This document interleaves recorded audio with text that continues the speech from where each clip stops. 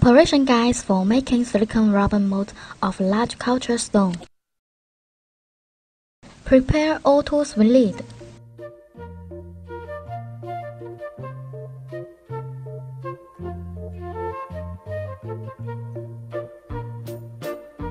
Cut some suitable flat balls and make some marks so that we can control the quantity of the silicon rubber better. Clean the surface of the mold and brush a layer of detergent on the mold evenly. Surround the mold with the flat balls and seal the slits with hot glue.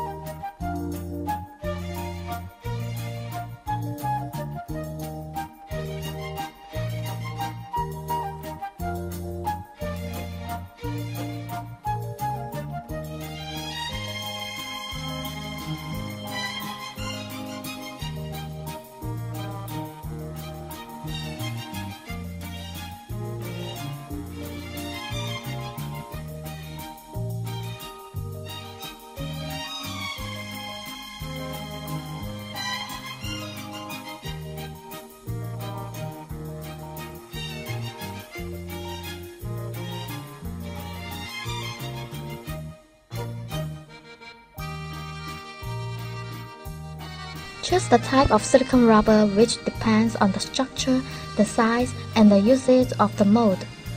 The culture stone size is 15 multiplied by 15 cm and it has a simple structure. So here we use Hongye HY628 silicone rubber. Mix the silicone rubber with the curing agent evenly, then take it to vacuum pump.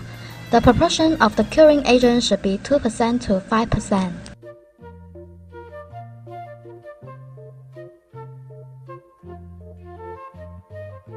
Welcome to negative 0.1 MPa, which can exhaust the bubbles from the silicon rubber mold, or it could leave some granules on the surface of the product. Reduce the curing agent's proportion if you don't have a vacuum pump machine, which can extend the curing time to exhaust the bubbles.